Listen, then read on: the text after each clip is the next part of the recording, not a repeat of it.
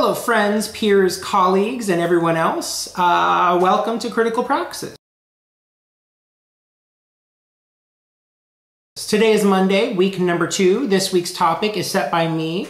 Uh, I am interested, or at least I'm having the readers read, an article called The Normalization of Queer Theory by David M. Halperin, and I'll have that citation below in the description box. This article, uh, in this article at least, uh, David Halperin outlines kind of this history of queer theory becoming a a skill set, a practice in the academy that has become more or less um, cleaved from the activist uh, underpinnings that it assumed or presumed at the beginning. And he really outlines, I think, a really fine, quick, easy way within five pages of what has happened to queer theory and his concerns that I certainly share with him. That ultimately queer theory as a tool of the academy of the university has become nothing more than a skill set for a lot of graduate students and practicing faculty as well. That as a skill set, there's a lot of problems inherent in that. And I believe that, and I'm hoping that others can also expand on this in their own disciplines and in their own theoretical models, but this also certainly has uh, some sort of impact for other cultural theoretical models, be they feminist, be they critical race theory, be they uh, queer theory, transgender theory, all of these different theories themselves and theoretical models uh, that when we look at them as nothing more than a skill set, we run into some really big problems in terms of actually pulling ourselves away from the political impetus uh, and, and, and for, foregoing, or rather foreclosing, on the potential of engaging in critical consciousness development or critical pedagogy in everyday practices, be they in line at Starbucks, be they with students in classrooms, be it walking down the street or at a bar late at night, right? That this cannot be seen as that queer theory itself as a skill set ends up lending itself to just this practice in some sort of back room at the library uh, writing a paper where you're merely just critiquing an article and saying I can do queer theory. But queer theory itself has this intricate connection to bodies, queer bodies, uh, gay, lesbian, bi, trans, uh, that, that, that certainly needs to be attended to, at least in my opinion, when dealing with queer theory. That when we pull the body away, this is where we have this sort of problematic where uh, the actual political stuff can uh, end up getting kind of erased, right? In the actual practice of queer theorizing or queer theoretical work. Uh, Halperin actually writes, um, I, am going to share three quotations that I think are rather uh, important. He writes, uh, these are all actually on page 343, and he writes, quote, but I would not want to teach such a course if it were to function as a means for straight students who do not wish to engage with queer culture or queer studies, to acquire a qualification in queer theory merely so as to complete an up-to-date graduate education. This is a huge problem. Uh, not that straight or cis people cannot understand or learn queer theory. That's not the problem, and I, and I would argue that Halperin also doesn't see it as a problem. The problem comes in when queer theory is seen, is seen as something as a skill set where people, queer people, queer bodies, different bodies, be they same-sex oriented or uh, transgendered or transsexual um, or what, what, what, whatever that case may be, that the queer component or the person component gets kind of disjointed so that queer becomes nothing more than an actual academic exercise. And what this end up what this ends up leading down is this kind of practice where perhaps one can put it on a curriculum vitae that I do queer theory, but in practice, I don't know how to talk to or engage queer bodies. I'm afraid of queer bodies. I'm homophobic. I deal with transphobia. I don't know how to engage dialogues about HIV AIDS, uh, medication access. I don't understand the issues perplexing queer bodies themselves. All I know is that I can do queer theory. And I see this certainly as a problem. He also adds, this is the second quotation on the same page, students nowadays who enroll in graduate school intending to work in queer theory, whatever their political background or ambitions, seek less to revolutionize the university than to benefit from what the university, university currently has to offer them, which I think uh, certainly speaks to these, this uh, kind of consumer model that a lot of universities are really learning to, uh, unfortunately, embrace.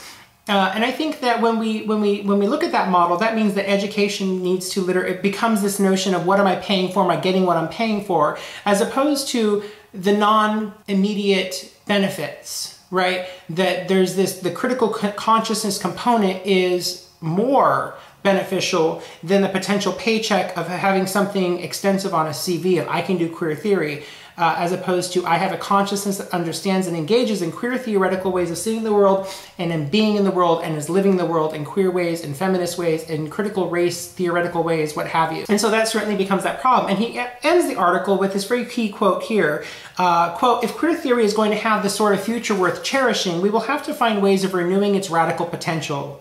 And by that I mean not devising some new and more avant-garde theoretical formulation of it, but quite concretely reinventing its capacity to startle, to surprise, to help us think what has not yet been thought.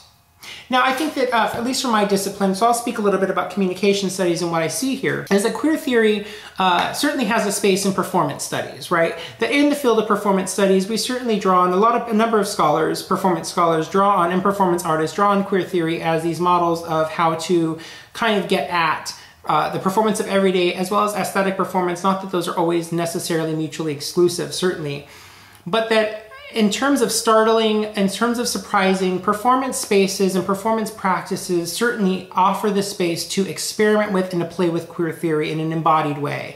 Meaning that we actually work with and play with gender and sex without only seeing these things as mere performance, right? I don't want to go down that slippery slope, that's not what I'm tending here, but rather trying to startle audiences to rethinking certain things about different bodies. A performance that I'm certainly working on right now is a pedagogy of queer theory. That literally means how it is that I might learn or how I might teach queer theory to students as an embodied practice, an everyday practice of what it means to be queer, at least in my experience, as well as what it means to queer the world around us and to engage, be engaged in constant queering of spaces uh, from um, mundane tasks such as not uh, gendering one's partner, uh, gendering oneself in slippery ways, uh, uh, engaging in all sorts of whatever they may be radical sexual practices or engage in some sort of uh, practice where you start validating queer ways of being without blinking at that, right? But also acknowledging that some of those queer ways are in fact queer, even for the person who's listening to it. Um, Conversely, I think that in intercultural communication, we also have an interesting, vibrant space to talk about the ways that within the LGBTIQA uh, dot dot dot alphabet train that in that space there's certainly space to talk about intercultural ways of communicating with one another within this larger uh, community or communities that uh, queer bodies are certainly a part of and also resistant to. I think broadening also even further is the necessary dialogues that, in, that intercultural communication deals with in terms of racialized uh, histories and trajectories that manifest themselves in these queer spaces. So I guess ultimately what I see here is that if we are going to, uh, to, to identify as queer theorists, as feminist theorists, as uh, critical race theorists, as some sort of cultural theorists out there, that it cannot just be seen as a skill set that we do on a piece of paper, but rather it has to become, I guess, uh, a means of dialogue, a constant embodied practice where we're pushing ourselves and other people to engage in critical consciousness development about the world around us. And this will have to take place and begin and continue to take place, I think, in places that are not just the classroom.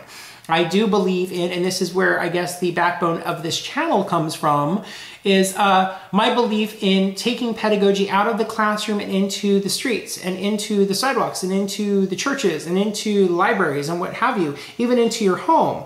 That we also that we understand that these are practices that are not just skill sets, but rather embodied ways of living the world. So, what is a queer way of living the world through a communication lens?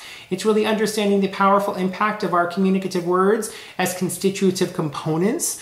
Um, that the way that we gender one another, the way that we sex one another, has implications for the way that we start constructing and understanding our relations with people around us. So we need to start queering those by really radically rethinking how it is that we approach each other from a communication lens. Well, I guess that's a long way of really saying that I do not really believe in queer theory as a skill set. Not that I don't believe in it because it's a unicorn, because I do believe in unicorns, but that queer theory is a mere skill set without the actual queer bodies uh, engaged in these dialogues, or at least the awareness and critical engagement with queer bodies, is problematic. And frankly, it runs the risk of erasing queer bodies and queer modes and frankly is a homophobic and transphobic and queerphobic way of going about academia. And so I certainly beg that those who are identifying as feminist theorists, as queer theorists, as critical race theorists are engaged in the actual bodies that these have uh, implications for. That there are actual bodies that are put on the line when we have these dialogues. And we need to remember who those bodies are, be they our bodies or other people's bodies that we're talking about. Anyways, I hope you all have a great week and I look forward to the other dialogues that this article brings up. Take care.